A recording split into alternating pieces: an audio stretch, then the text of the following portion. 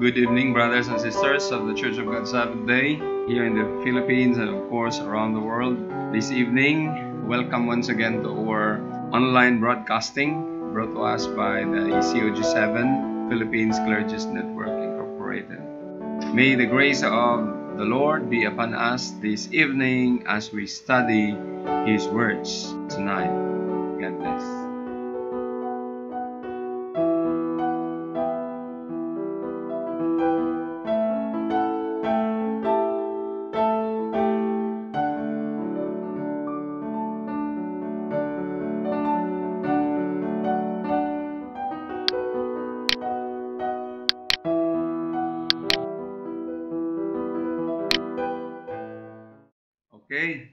Again, welcome to our online broadcasting of the Church of God Seventh Day. This evening, let's uh, continue our lesson. But before that, we learned in the past video na ato ang nakatunan diri about sa uh, baptism of the Holy Spirit. We started the lesson about the uh, fourth doctrine which is the baptism of the Holy Spirit. Okay? So, the topics that we have discussed last time is about the significance of baptism and of course the words spoken in baptism and the evidence of the Holy Spirit. Okay? Pasensya na kayo mga igsoon nga medyo dugay na to nasundan ang ato ang pag-lecture diri karon it is because nga nag-project pud taglain mahitungod sa ato ang Bisaya hymnal nga siguro nakita na ninyo daghan nga gipang-upload na to So, salamat po sa inyong pag-alantaw niya na mga ka-church. Okay? So, nining kagabihan mga igsoon, uh, muna ang mga atong nakatunan kanang gitawag og uh, the significance of baptism, words spoken in baptism, and the evidence of the Holy uh, Spirit. So, katong atong nakatunan sa una is ang words spoken in the baptism uh, tungod kay daghan kayong nag-irgo nga kanang gitawag og uh, unsa man gyud nga authority ang gamiton in the name of the Father, the Son, and the Holy Ghost, o kanibang in the name of our Lord Jesus Christ, in the name of the Lord, the name of Jesus Christ, or Jesus. So, igsoon ko din sa Ginoo atong na uh, reconcile ni atong niagi nga video para kumpleto atong gamiton ang duha. No? So, una nga uh, naay mga bautismo nga uh, pwede man gihapon to gamiton sila pero most of the time the New Testament ang ginahimo sa apostoles nga mao po atong ginason kana yung in the name of Jesus Christ. Pero naman po mga tao nga gusto pud mo gamit og in the name of the Father, Son, the Holy Spirit. So para walay discussion, kinahanglan gamiton nato atong ang duha. Mutong atong nakatunan igsoon nga tungod sa dakong sugo nga ang mutuo pagabautismuhan sa ngalan samahan sa anak sa Espiritu Santo busa ako magabautismo kanimo uh, sa Tambulano for example sa ngalan ni Ginoong Hesus Kristo. Kay para nga mawala na ang mga pag-irgo ni anang dapita. So muna ito nakakatunan. Especially po ato pong hibawan ang mga evidence of the Holy Spirit in the life of the believer. So this evening, let's talk about the physical sign of the Holy Spirit. Okay? So, unsa may mga physical nga mga timailhan diha sa gitawag og Holy Spirit. Naay mga pangutana nga ning abot sa kuha nga ang text ako nga matod pa niya, is it possible to see the Holy Spirit with our natural eye, with our naked eye? So makita ba daw nato ang Holy Spirit pinaagi sa ato ang mga mata, naked eye? So ato nang mga matubag na to na niya mga igsoon. So what is the effect which the Holy Spirit produces to a believer? So unsa may mga um let us say mga epekto nga atong makita sa usa ka kinabuhi sa usa ka magtotoo nga naa diha ang Holy Spirit diha kaniya. Okay?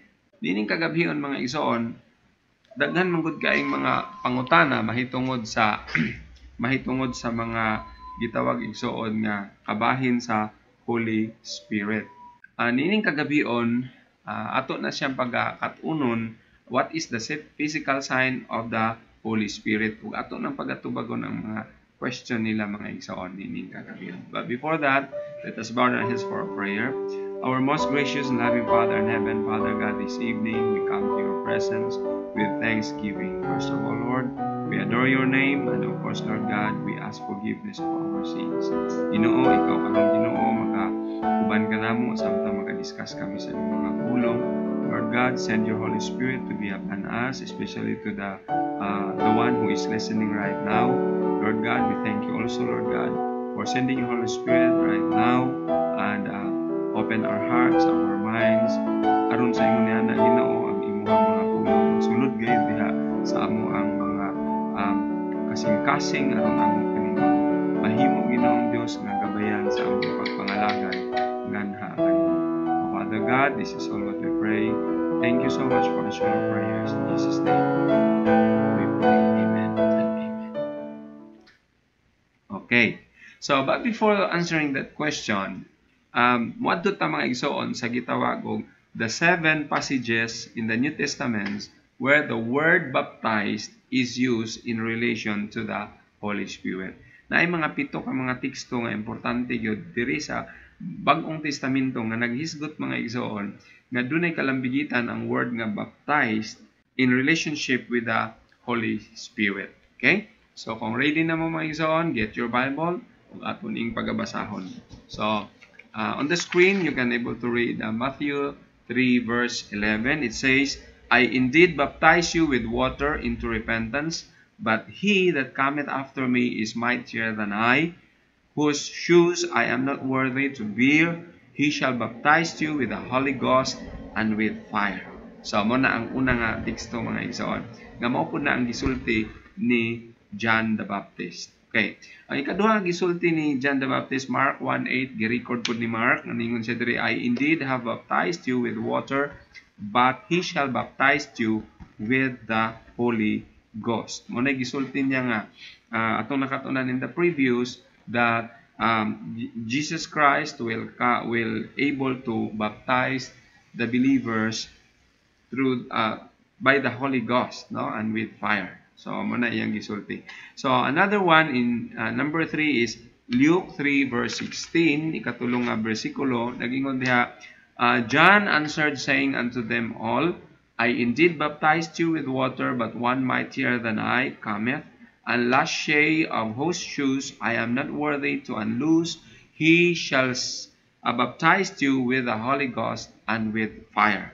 Okay.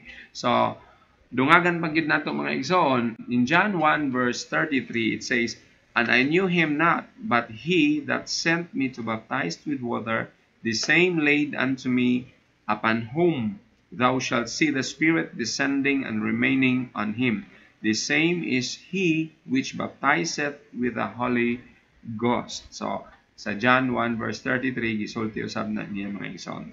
And in Acts 1 verse 5, Nagingon diri for John truly baptized with water, but ye shall be baptized with the Holy Ghost not many days hence. So atong nakita mga igsoon nga nag ang atong ipangbasa nga Bible ang kaning passages, mga bersikulo nagtumbok tanan sila mahitungod sa bautismo diha sa Espiritu Santo. Okay, in Acts 11 verse 16 it says, Then remembered I the word of the Lord how that he said, John indeed baptized with water, but ye shall be baptized with the Holy Ghost. So, nakita nato nga uh, nagbaptize sila in the water, pero napaghapoy nagsunod nga naingon another baptism uh, with the Holy Ghost. So, si Apostle Paul sa 1 Corinthians 12 verse 13, nagsulti usab siya mga igsoon nga Ingon siya, For by one Spirit are we all baptized into one body, whether we be Jews or Gentiles, whether we bond or free, and have been all made to drink into one Spirit. Okay? So, moto siya ang mga pito ka mga bersikulo nga nagpamatuod mahitungod sa bautismo sa Espiritu na ang pulong baptized gigamit in relationship with the Holy Spirit. Now, atong tanawon mga igsoon ha, the phrase nga to baptized into, it is used both for the Christian baptism in water and same in the Holy Spirit. Sa mga teksto nga atong nahibawan, nag naa dito na baptize sa water, I indeed baptized you in water, but He will baptize you with the Holy Spirit. So, nagingon po diri si Apostle Paul na for by one Spirit are we all baptized. Amen? So, atong makita mga igsoon that uh, it is used both for the Christian baptism in water and same in the Holy Spirit, which means that baptism is an outward confirmation of an inward spiritual condition. Muna yun siya pinaka-wholeness, pinaka uh, uh, kinatibukan mga igsoon nga kahulugan mahitungod sa bautismo. It is an outward confirmation of an inward spiritual condition. Mao na igsoon nga kung imong nakita in your naked eye nakita nimo nga nag nabaptize na siya. Amen. Pero mga igsoon ko sa Ginoo, ang inward wala na to siya makita. So mo na ang meaning diha mga igsoon that the the wholeness meaning or the whole meaning of baptism is it is called it is an onward confirmation of an inward spiritual condition. Okay? So, binaot nga natay na sabtan niya na muna nga in relationship with the seven passages, seven uh, verses nga atong gibasa karon. So, na nagkahiusa sila diha nga to baptize in water and baptism in the Holy Spirit. Okay? So, padayon ta mga igsoon how the disciples were baptized during their time. Okay, giunsa man to pagbautismo ang mga tinunan diha sa balaang espiritu how the disciples were baptized in the Holy Spirit. Okay. Naunsa man to sila. So, naay mga tulo ka mga ebidensya nga atong paghisgutan unya kung naunsa tong mga hitabua nga makita nato ang mga physical conditions or physical uh, aspect mahitungod sa with regards with the uh, baptism in the Holy uh, Ghost or Holy Spirit. Okay? So atong makita mga igsoon nga at the day of the uh, Pentecost atong nakita nga atong na nabasa diha nga atong mahibal-an diha nga the Holy Spirit came down from heaven on the disciples and completely immersed or baptized them in the Holy Spirit. Okay? Ang Holy Spirit na naog gikan sa langit ug unya nagingon diha nganing tugob kanang word nganing tugob it is the same with being baptized or napuno sila, napuno. So, being immersed or baptized them into the Holy Spirit. Nga gani, nga ang resulta ni adto after the baptism of the in the Holy Spirit nga ilang natagamtaman dito sa Pentecost, matud pa sa Acts 2 verse 17, si Pedro nagasulti, nintindog si Pedro, misulti siya. Ingon siya, In the last days, I will pour out of my spirit upon all flesh. So, iyan ang gi-quote mga igsoon diha ang ang saad kana nga gisulti daan dito sa Huwil 2 bersikulo 28. Atong pagabasahon, and it shall come to pass afterward that I will pour out my spirit upon all flesh, and your sons and your daughters shall prophesy, your old man shall dream dreams, your young men shall see visions. So, diha na to makita mga igsoon nga katong gi-quote ni Peter sa diha nga naka human sila nga natugob na sila diha sa balaang espiritu sa panahon sa Pentecostes ato nang masayran niya mga igsoon. Ning tindog dayon si Pedro og naingon siya nga in the last days I will pour out of my spirit. Iyan na dayong gisulti og balik kining naa diha sa Joel 2:28. So, buti pasabot nga ang katong mga panghitabo mga igsoon nila nga sulti na si Pedro mao na to siya katumanan diha sa Huwel 2:28 didto na day nagsugod ang pagbubo sa Ginoo diha sa balang espiritu gi-pour out niya so kung ato bitang maindig mga igsoon gipuno sila diha sa espiritu nga ning naog ning kunsad ngadto kanila Okay? So, padayon ta mga igsoon. So, natuman ang Huwel 2, versikulo 28. So, usahay bitaw, gigamit po ning Huwel 2, versikulo 28 nga ila pong gigamit para sa ilahang mga propeta, nga mao ni sila, inana, sila katumanan ana. Pero mga igsoon ko, atong hinumduman, nga gisulti diha upon all flesh. So, gibubo ang balang espiritu dili lang sa mga Amerikano ra, dili kay sa unsa ra nga klase nga tao, kundi matud ba niya di, I will pour out my spirit upon all flesh, and your sons, plural, and your daughters shall prophesy. So, kung maghisgot niya ta diri sa mga uh, moabot ta sa mga paghisgot sa mga propeta, mini nga propeta, puhon-puhon mga igsoon. So ato nang mahisgutan nga uh, mahitungod niining Huel 2:28 nga ang katumanan didto na sa panahon sa mga uh, apostoles. Didto sa buhat 2:17 nga istorya nagbalik ni Apostol Pedro nga makatungod katong gibubo daw sa Ginoo nga nga espiritu nga ilang nadawat. Mao na to siya ang espiritu nga gisaad didto pa lang sa panahon ni Joel sa kapitulo 2 bersikulo 28.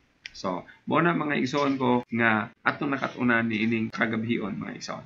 Let's go to another uh, to the question ganina. So, but before that, atong tanawon what is the physical sign of the Holy Spirit? Unsa man ang physical sign of the Holy Spirit?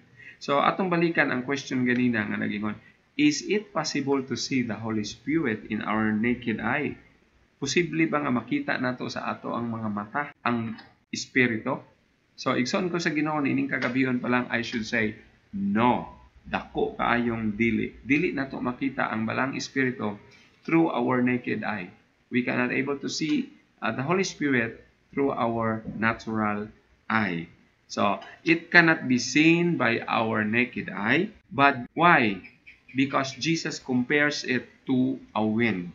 Gikumparar na ni Jesus Christ ang balang Espiritu sama sa usa ka hangin. O gani, niingon siya sa John 3 verse uh, 3 verse 8, nag-ingon ang Ginoo, The wind bloweth where it listeth, and thou hearest the sound thereof, but cannot tell whence it cometh and whither it goeth. So is everyone that is born of the Spirit. So, nganon dili nato makita in our naked eye because nag-isulti si Jesus Christ nga gikumparar niya nga ang Holy Spirit mura lang siya og hangin mga igsoon nga imong ma imong mahibaw-an og asa siya naghaguros dapita unya wala pug kakabalo og asa to siya paingon. Pero swerte na kaita karon mga igsoon kay ang bagyo mahibaw-an na natog asa mo agi. Amen? So sa unang panahon di gyud mahibaw-an og asa mo agi. So gi-compare sa Ginoo nga madunggan lang nimo ang iyahang mga hinaguros madunggan lang nimo nga agi siya. Ang ang hangin ni agi siya pero wa ka kabalog asa siya padulong ug asa pud sa gikan. So muna mga igsoon ang ang gi-testify ni Jesus Christ mahitungod sa Holy Spirit kaniadto karon naman tay mga weather forecast makuha nila pero matud pa diha wa pud sila kabalo mutugpa pag yun na diha gyud an sa nakuan.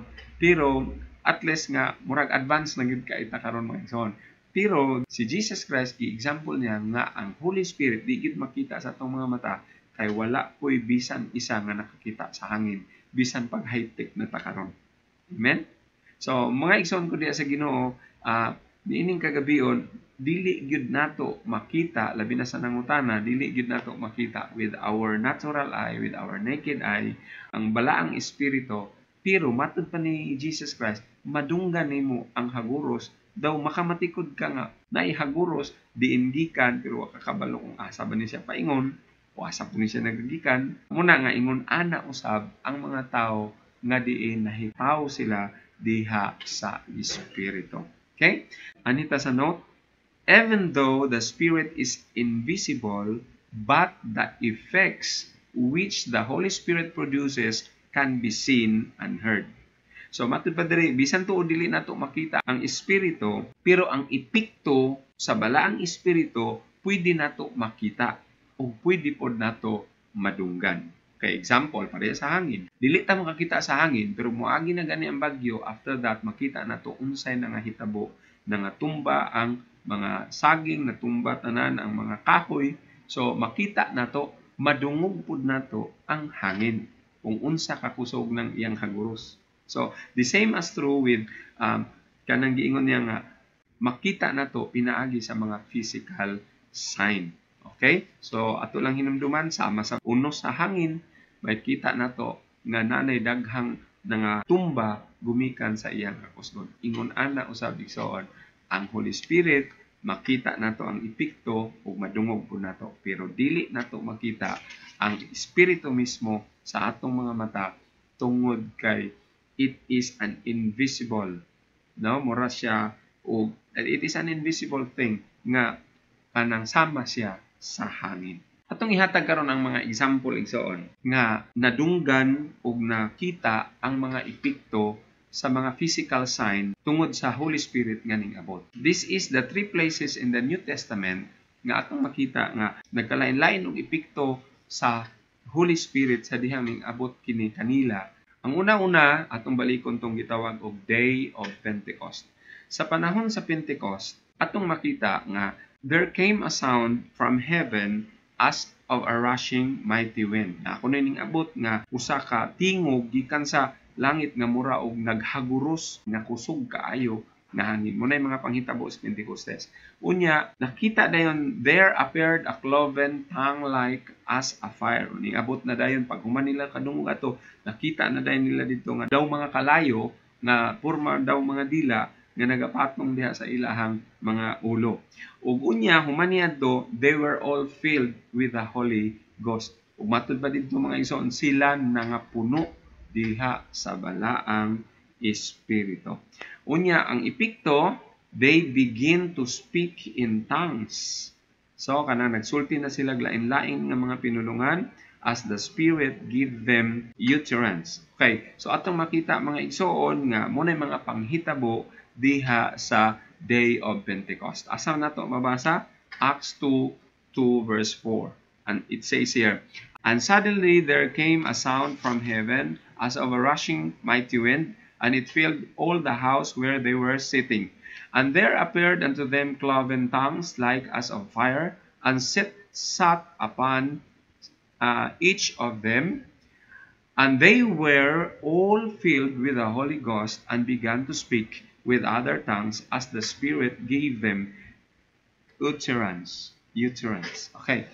So, um, igsoon ko diya sa Ginoo, makita nato din ha nga sa ato nang gisaysay ka ganina nga nakadungog sila rushing wind nga mighty wind ug niya pagkahuman nakita na po nila ikaduha na nakita nga naanay mga daw mga dila nga nagatungtong sa ilang mga ulo ug mga igsoon nag, nag napuno sila sa Holy Spirit sa diyang napuno sila sa Holy Spirit, ang nahitabo, nagsugod na dayon sila pagsulti og mga pinulungan. Kanang gitawag nilang tongues, no? Kanang mga dila nagkalain-laing pinulungan. Ugo niya matud pa diha nga sa, sa sumala sa gi uh, di pa sulti sa balang espiritu ngadto kanila. Mao na ang unang lugar nga diha nato mabasa nga how the Spirit came ug unsa pod ang epekto sa dihang ning abot ang balang espiritu sa dihang ning abot ang balang espiritu nga nagabautismo ni adtong mga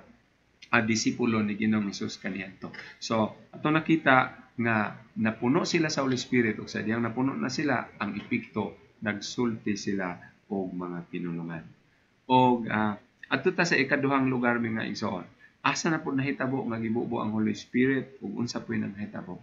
Ikaduha diri sa house of Cornelius sa panimalay ni Cornelius. Okay? So unsa may mga panghitabo sa panimalay ni Cornelius? Nagingon diha nga samtang nagsulti si uh, Pedro, the Holy Ghost fell on them which heard the word. Okay? So nakita nato mga igsoon nga uh, atong panahon na nagsulti pa lang si Pedro na ngadto sa balay ni Cornelius na naog na, na nahulog ang maong balang espiritu ning punsad kanila ug unya nga sa tanan nga nakadungog sa gisulti ni Pedro. Unya ikaduha, many came with Peter because Gentiles who also was poured out the gift of the Holy Ghost. Ningon dia, many came with Peter because Gentiles also was poured out uh, the gift of the Holy Ghost. So ato nakita diha nga naghangnuol kang Pedro gumikan kay sila usab nakabaton diha sa pagbubo sa maong gasa sa Espiritu Santo. Ug unya ang ikatulo is nakadungog ang mga tao ngadto kanila nga nagsulti pud sila og mga pinulungan. Human sila na nabubue sa maong uh, balang espiritu dito sa panimalay ni Cornelius, mga igsoon, ang epekto gihapon is nagsulti gihapon sila og mga laing-lain nga pinulungan. Nag-utter sila igsoon, nagsulti sila sa mga lain-laing pinulungan. Okay, atong basahon. sa buhat 10 versikulo 44 46. Nagingon diha mga igsoon, while Peter yet spoke these words, the Holy Ghost fell on them which heard the word. And they of the circumcision which believed were astonished, as many as came with Peter, because that on the Gentiles also was poured out the gift of the Holy Ghost. For they heard them speak with tongues and magnify God. So daghan ko nung nanuol tungod kay nakadungog manggod sila nga nagsulti sila og mga lain-laing pinulungan og nakahimaya sila sa Ginoo gumikan kay sa maong panghitabo sa dihang gibubo ang espiritu ning ipikto gihapon sa pagsulti og mga nagkalain-lain nga pinulungan. Okay? So let's go to the third place at uh, tulo ka place, ikatulo nga place. So, number three is convert at Ephesus. No? Katong mga mga nadani dito sa lugar nga Ephesus. Okay? So, unsa man po yung mga panghitabo dito mga igsoon? Ang mga panghitabo dito mga igsoon is the Holy Ghost came on them when Paul laid his hands upon them. Sa dihang uh, namandong si Apostol Pablo dito kanila, ang balaan nga uh, espiritu naabot ngadto kanila. Okay. So, ug unya sa diha nga naabot na didto, they speak in tongues and prophesy. So ang atong nakita mga igsoon nga sa dihang ning kunsad ng balang espiritu ngadto kanila, nagsulti sila, nagkalain-laing pinulungan ug sila nagsugod na sa pagpanagna. Okay? So atong basahon mga igsoon, Acts 19 verse 6. Nagingon diha, and when Paul had laid his hands upon them, the Holy Ghost came on them and they speak with tongues and prophesy. So, atong nakita mga igsoon nga ang tulo ka mga lugar nga diin ning tungha ang balang espiritu dunay common nga epekto. Una-una ang atong nakita nga uh, one in common sa ilang tulo is sa tanan nga naabtan sa balang espiritu nagsulti sila og nagkalain-lain nga pinulungan. Okay? So, ato ko nung i-compare ang tulo ka passages. Ato silang i-compare ang tulo ka mga bersikulo. Okay? Una-una, sa atong mabasa, dunay mga physical sign. There is a physical sign which is common to all three. Unsa man mga physical sign? Kay katong nagsulti sila lain-lain nga mga pinulungan. Matud pa diri, those who receive the baptism of the Holy Spirit speak with tongues. So ang tanan kuno nga naka uh, baton or na, na nabubuan or nabautismuhan diha sa balaang espiritu siya nagsugod og sulti og mga pinulungan. Okay?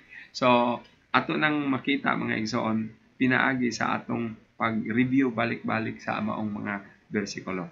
Now, gawas ato na pagi other supernatural signs of the Holy Spirit katong gahom nga gipagawas gid sa Holy Spirit sa diyang nakadawat sila sa Holy Spirit mga igsoon na ay mga supernatural signs mga katingalahan nga mga gipakita didto sa mga tao katong nakabaton diha sa balaang espiritu so atong unahon didto sa Pentecostes at the Pentecost kaya atong nakita nga there was a sound of the rushing wind.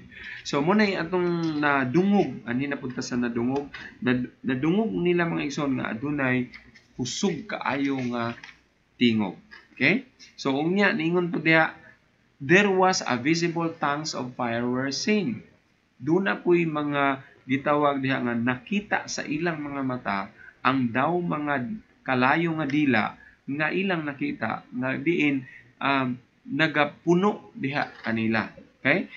Pero, matud ba but this were not recorded on the two occasions. So, kada abot sa balang espiritu, dili siya ingon nga maugid na iyang pamaagi nga um, mag maghimo gid siya daw mga dila. Wala ang katong mga daw mga dila mga ison didto ra to nahitabo sa day of Pentecost. Okay? Pero dito sa ikaduha at Efesos, wala na mahitabo igsoon ang gikuan. Lain-lain ang gitawag nga mga pamaagi sa balang espiritu nga sa dihang mukonsad siya. Lain-lain. Pero ang epekto nga diin magsulti og pinulungan katong tulo ka lugar parihas ra nagsulti og pinulungan. Pero ang supernatural signs lain-lain. Ang una, katong sa Pentecost, nakadungog sila nga daw hangin, then nakakita sila daw mga uh, kalayo nga daw mga dila, no? So, muna ang ilan nakita. Now, let's go to the at Ephesus, unsa pod ang nahitabo sa Ephesus. So, sa Ephesus, ang tanan nga mga converts nagpropesiya. Okay? Ang tanan nga mga converts nagsugod sila sa pagpanagna. Mao po ipikto dito sa Ephesus. No wala pud na siya mahitabo dito sa gitawag nga um, sa Pentecost. Okay? But this is not mentioned as having occurred in the day of Pentecost and in the house of Cornelius. Wala po na siya gihisgutan dito nga nag-prophesy tanan to ditong uh, sa panahon sa Pentecostes. Wala. Wala po naghisguti dito sa panahon sa uh, panimalay ni Cornelius. But they just speak in tongues. Nagsulti lang sila og mga dila, kumbaga lain-lain nga mga pinulungan. Pero ang ilang supernatural nga mga gipakita nga sama sa hangin nga naghaguros ug atong mga daw kalayo nga mga dila pero igsoon ko sa Ginoo wala gud na makita diha sa isa ka lugar. Kada isa ka lugar lain-lain pud sila og mga epekto, no? So muna nga diri sa Ephesus ang tanan nga mga magtutuo nag-ingon diha nga na nagprophesy. Nag nagsugod sila sa pagpanagna. So busa nining kagabion mga igsoon atong nakita nga atong naistudihan karong kagabion nga ang balaang espiritu ang iyang pag-abot dili nimo siya ma-mention nga sa isa lang ka lugar kundi sa atong example nga tulo ka lugar mga igsoon atong makita nga alain-lain siya og epekto lain la pero naay common lang sa ilang tulo nga magsulti lang gyud og mga pinulungan. Okay?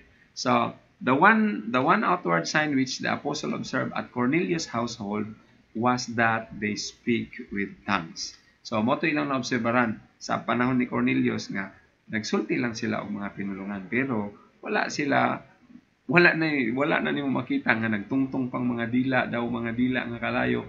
Wala po nimo makita nga uh, naparihas po atong sa pikas nga lugar. Pero imong nahibaw-an nga ang tulo ka mga lugar they have something in in common. Kana ra yung they speak with tongues. So, nagsulti sila og lain-lain nga mga pinulungan. So, nining kagabion mga igsoon, to, taas man gud ni siya nga uh, kaning subject ning gitawag baptism of the Holy Spirit. So, muning ato lang ning gi, gi uh, putol-putol kay para nga dili kaayo taas ang atong uh, pagpaminaw niya ma-recall ma pagid nato ni because this is something like um, kinahanglan gid ni siya balik-balikon pagid ni siya pagtan-aw kay para gid nga masabtan kaayo nato ang mga bersikulo nga atong nandayon na. Okay? So in our conclusion, through these biblical records nga atong napakita o atong natun-an karong kagabhion mga igsoon, we can conclude that the sign of speaking in tongues through the power of the Holy Spirit confirms that a person has been baptized in the Holy Spirit. So, katong mga makasulti naglain-lain nga mga pinulungan, makonfirmar na to mga igsoon nga diin uh, nabautismuhan na sila. Kumbaga na, natugob na sila. Napuno sila diha sa espiritu sa Dios so muna ang igsoon ko diha sa Ginoo ang atong na uh, partial pa nato nga conclusion kay maghisgot pag tag unahan ani. Busa mga igsoon atong nakita through the verses through the passages nga atong gi-studyhan karon. So atong nakita nga ang ang maong mga speaking in tongues, the sign of speaking in tongues through the power of the Holy Spirit is the confirmation that a person has been baptized in the Holy Spirit. Igsoon ko diya sa Ginoo nakasulay na baka ani nga nag-speak in tongues ka. Siguro daghan kay mga tao karon nga nag-speak in tongues sila. Pero uh, unsa ka na sakto na bagid ka na o mao na bagid ka na igsoon ang gitawag nga uh, epekto sa Holy Spirit because there are many people nga nagpractice po nining mga speaking in tongues. Ato nang mahisgutan sa mga musunod nga mga uh, video na to mga igsoon. So kinahanglan lang nga mag-subscribe ta o mo kuanta mo uh, click lang ta sa bell kay para ma-updated ta sa tanan nato nga mga bago nga mga upload mahitong manini nga mga subject nga sumpay nini so our upcomings is um, maghisgot ta mahitungod sa datang. Okay kaning kaning pagsultig pinulungan unsa man gini ato nang tunandaan kay basin daghan kay magsuon nga ah, sulti day tagtang para mapuno punta sa Holy Spirit. So igsoon ato nang istadihan ng mayo. Kay aron mahibaw na daw kung unsa na rin. Unsa pud ang purposes unsay mga purpose ni anang gitawag og mga dila okay kanang mga pagsulti o mga pinulungan. Ug unsa pod kinsa pod ang ning object? Unsa po'y rason sa mga ning object? Nganong dili sila mutuo ni anang uh, wala sila mag-practice ni anang speaking in tongues. So muna mga igsoon ko diya sa Ginoo nining kagabion hinaot unta nga ang Dios kanunay mag-abri sa atong hunahuna o atong kasing-kasing aron madugangan pagyud ang ato ang uh, nakatuna ni ining uh, mga panahona especially diha sa pagtuon nato sa balaang kasulatan. Okay? So hinaot unta nga dining kagabion natay nakatunan diha sa ato ang uh, online uh, broadcasting nining kagabiyon. Okay? But before I end, gusto lang nako i i-greet. Christian greetings goes to uh, Labi family sa Panakaan, Davao. Ako silang ginagreet, sila ati Daddy, silang Anan and family, silang Dukduk, diha mga Labi family. Ako silang gina um, gina kining ginagreet uh, that God will bless you, your family, o bisan wala na kaita nagkakitanay pero salamat nga natay higayon nga makagrita diri sa ato ang uh, video karon. I hope and I pray nga kamo panalanginan kanunay sa Ginoo iprotektar nining COVID-19. Okay? So, an anhi po sa Kavan family. Kaning Kavan family na po sa Panakan relocation Davao lang gihapon. Sila ang atong mga avid viewers, mga ison. Sila ang ati Diling. Kumusta ka mo din na? o uh, uban sa iyang mga pamilya silang Ariel Camardo na sila din hapon so sa Panakan Church uh, akong gi-greet uh, Christian greetings ang uh, mag-aabot diha kaninyo ang panalangin sa Ginoo o protection gikan ining atong uh, COVID-19 karon nga gisagubang. Okay? Og ang ako pong amigo nga naa sa Mindoro ako pud siyang gi-greet. Okay? Si um, Brother Asher Postrero ang ato aning debatidor. So salamat kaayo sa imuhang kakugi usab diha sa pag uh, uh, pagpamantala pagmantala diha sa um, kamatuoran nga naa diha sa balaang kasulatan. Og salamat usab nga ikaw nagapaminaw kanunay diha sa ato ang um, programa dinhi sa online broadcasting. And of course uh, di naman nato ma-mention tanan so to all so, who supports this ministry labi na sa mga clergies net sa atong clergies network o bisan pa sa tanan nga makaisuunan nga sila usab naga supporter dire sa hilom lang naghatag usab sila dire og mga supporter nga nigas kanato. Sa inyong mga prayers nga magmalambuon kining maong mga atong ginahimo dire sa YouTube uh, salamat kaayo og bisan pa sa atong mga amigo amiga nga mga uh, sa lain-laing nga lugar nga matod pa nila. Uh, God bless sa inyong ministry diha pastor. Ang Dios nga dili ato nang i-pray kanunay nga dili na siya maputol kun dili uh, permanente na aron daghan ning makatunan. Sa kay salamat sa inyong mga uh, prayer support. O bisan pa diha sa inyong mga financial support daghan kay salamat. Ug ang Dios usab magabubo sa iyang panalangin.